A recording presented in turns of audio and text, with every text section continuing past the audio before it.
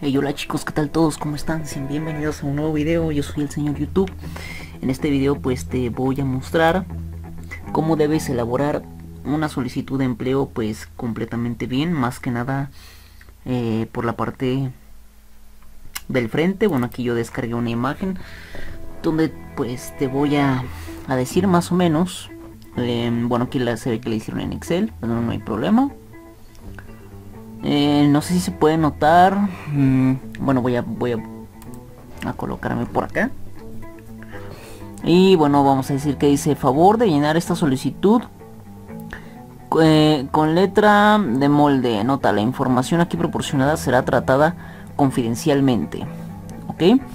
Em, bueno, no la muestra toda, pero muestra un pedazo. Entonces yo más o menos a ustedes les, les estoy dando más o menos una idea de cómo la pueden elaborar. Esto más o menos, como ya les dije, por el frente. ¿Sí? Bien.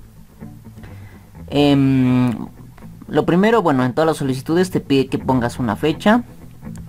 Te pide que pongas una fecha y tal, ¿no? Em, la fecha y este y, y este tu nombre y algunos otros datos. Eso, bueno, no se, no se, no, se muestra en esta. Aquí principalmente donde dice sueldo mensual deseado.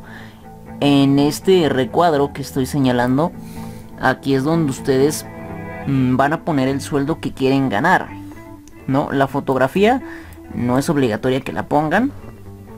¿Sí? Em, aquí, por ejemplo, ustedes pueden poner el sueldo mensual o pueden hablar con la persona si les, llega a decir en un, cierto, cierto caso. ¿Por qué no pusiste el sueldo mensual?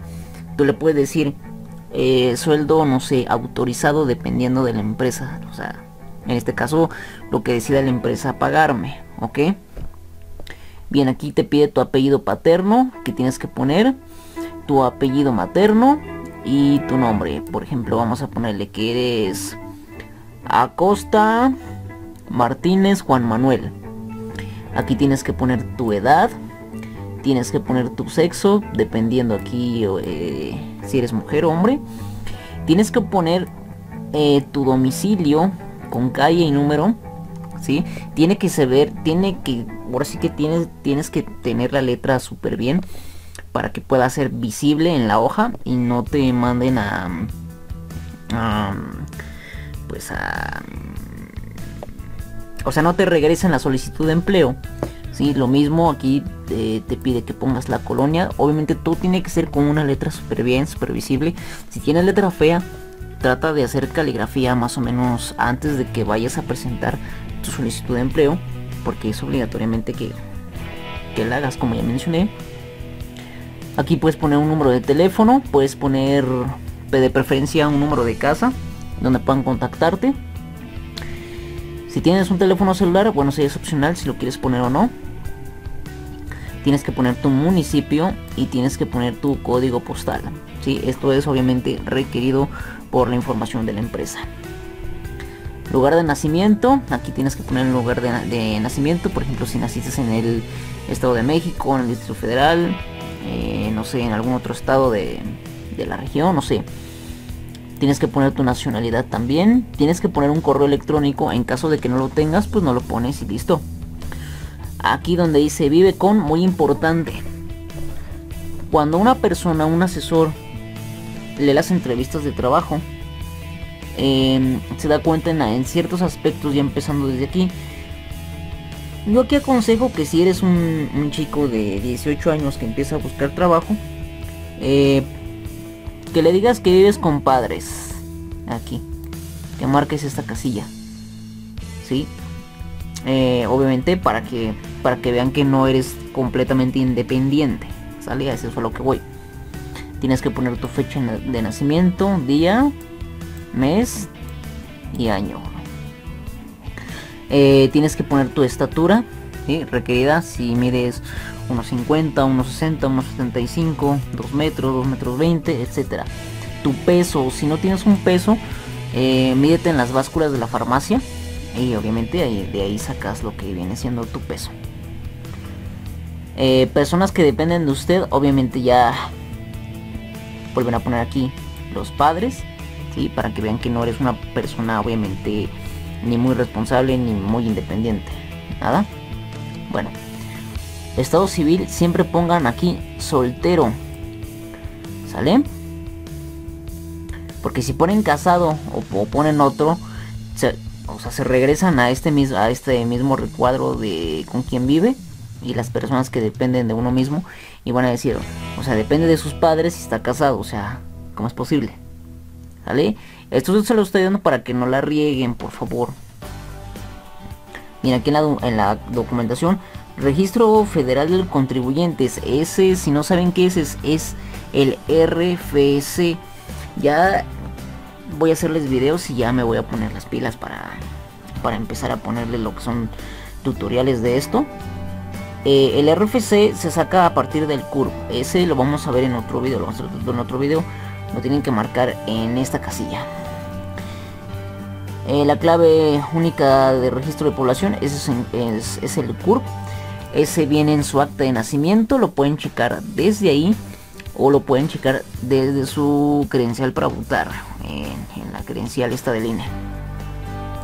Número de seguridad social, estos por si ustedes tienen seguro lo pueden anotar, si no, no hay problema. Em, si tienes Afore, mm, te recomiendo que mejor no lo pongas, que lo dejes en blanco como está.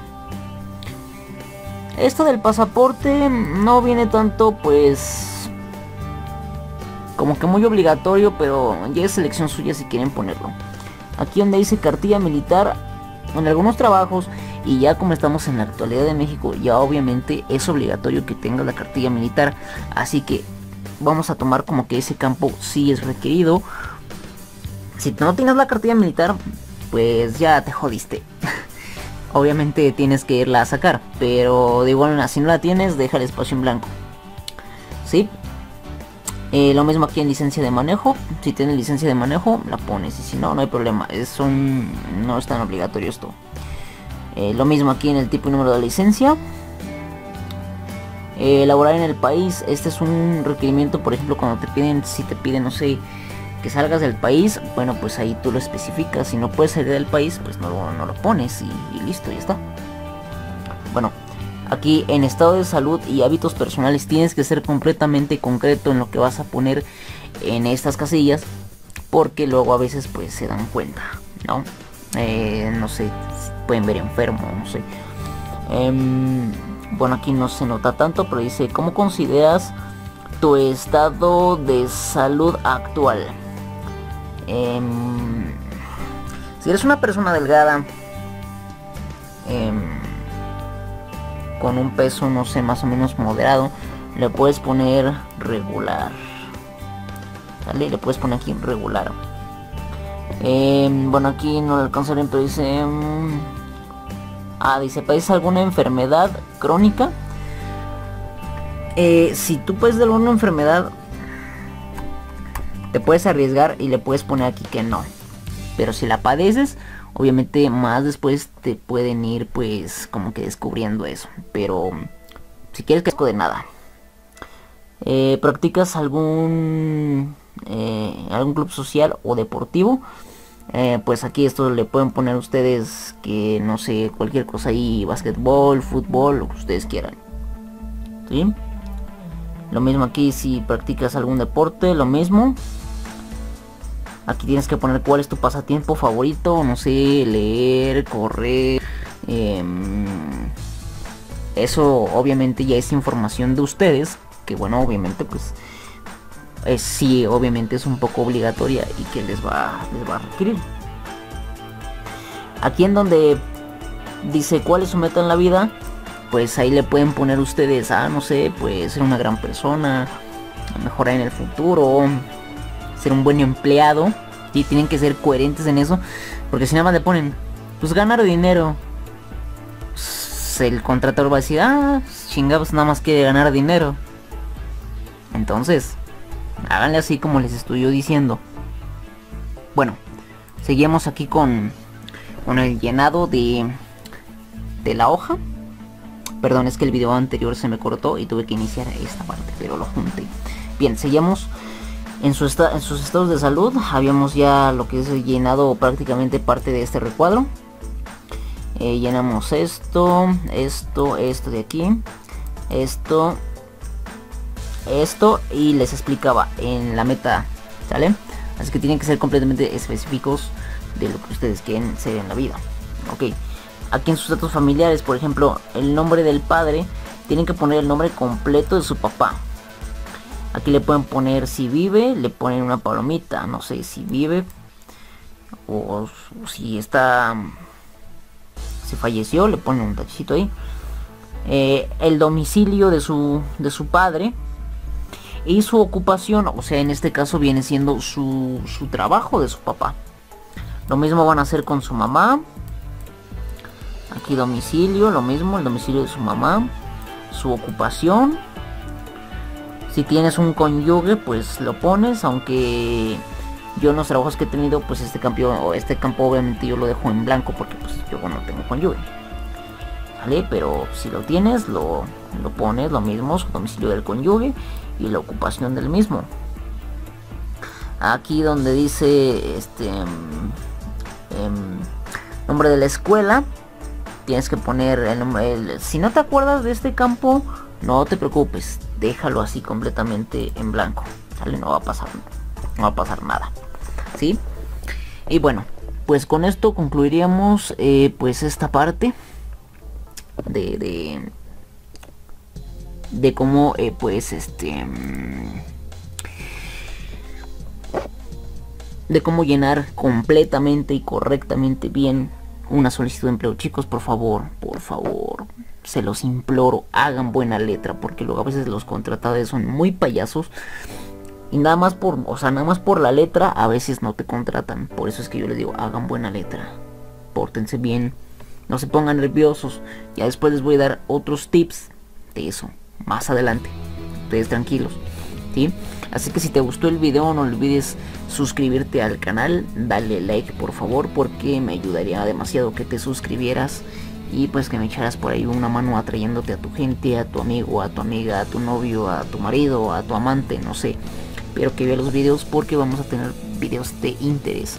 Así que comenta si te gustó y comenta en cuál quieres que sea nuestro siguiente proyecto de video para la siguiente vez. Así que yo soy el señor YouTube, me despido sin más, no te molesto. Hasta luego.